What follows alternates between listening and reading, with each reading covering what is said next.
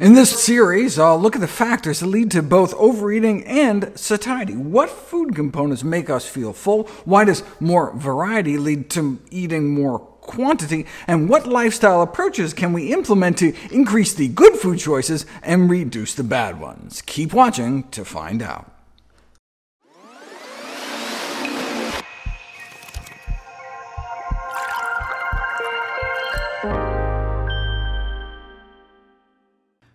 Anyone can lose weight eating less food. Anyone can be starved thin.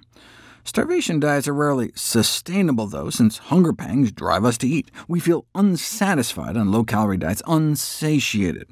We do have some level of voluntary control, but our deep-seated instinctual drives may win out in the end. For example, you can consciously hold your breath, Try it right now. How long can you go before your body's self-preservation mechanisms take over and overwhelm your deliberate intent not to breathe? Your body has your best interests at heart and is too smart to allow you to suffocate yourself, or starve yourself for that matter. If our body was really that smart, though, how could it let us become obese? Why doesn't our body realize when we're way too fat and allow us the leeway to slim down? Maybe our body is actually very aware and actively trying to help, but we're somehow undermining those efforts?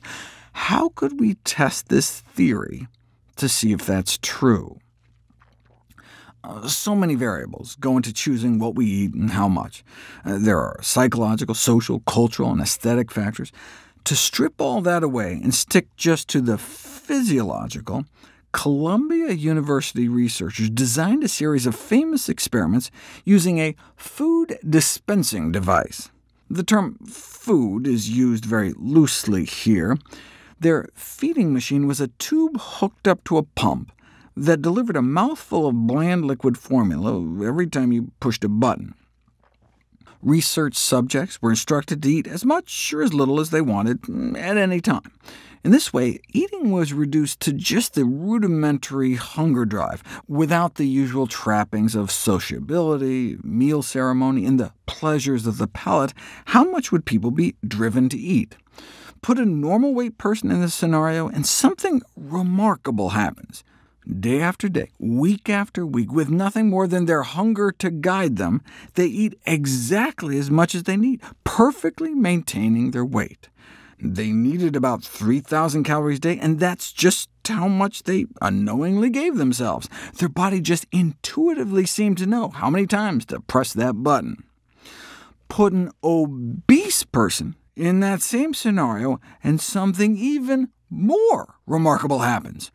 Driven by hunger alone, with the enjoyment of eating stripped away, they wildly undershoot, giving themselves a mere 275 calories a day total. Uh, they could eat as much as they wanted, but they just weren't hungry. It's as if their body knew how massively overweight they were, so it dialed down their natural hunger drive to almost nothing. One subject started out at 400 pounds and steadily lost weight.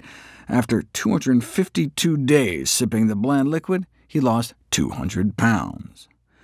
This groundbreaking discovery was initially interpreted to mean that obesity is not caused by some sort of metabolic disturbance driving people to overeat. In fact, the study suggested quite the opposite. Instead, overeating appeared to be a function of the meaning people attach to food beyond its use as fuel, whether as a source of pleasure, or perhaps relief from boredom or stress. In this way, obesity seemed more psychological than physical. Subsequent experiments with the feeding machine, though, flipped such conceptions on their head once again. If you take the lean study subjects and covertly double the calorie concentration of the formula, they unconsciously cut their consumption in half to continue to perfectly maintain their weight.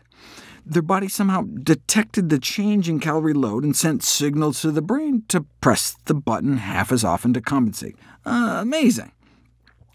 Do the same with obese persons, though, and nothing changes. They continue to drastically undereat just as much as before.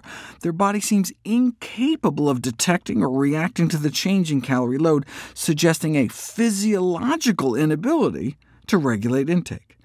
Might the brains of obese persons somehow be insensitive to internal satiety signals? Uh, we don't know if it's cause or effect. Maybe that's why they're obese in the first place, or maybe the body knows how obese it is and is shutting down the hunger drive regardless of the calorie concentration.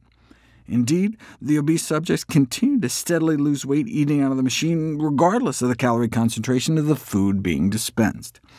It would be interesting to see if they regain the ability to respond to changing calorie intake once they reach their ideal weight. Uh, regardless, what can we apply from these remarkable studies to facilitate weight loss out in the real world? We'll explore just that question next.